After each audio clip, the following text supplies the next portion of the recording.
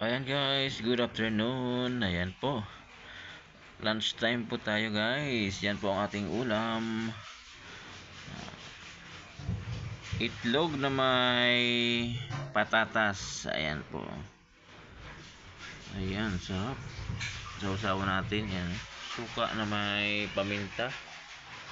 Ayan po ang ating ah, lunch ngayong ah, araw na ito.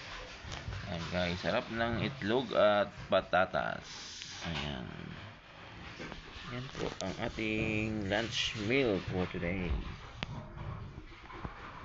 Ayan, mag-love shoutout po sa inyong lahat. And enjoy watching. Tara guys, kain po tayo.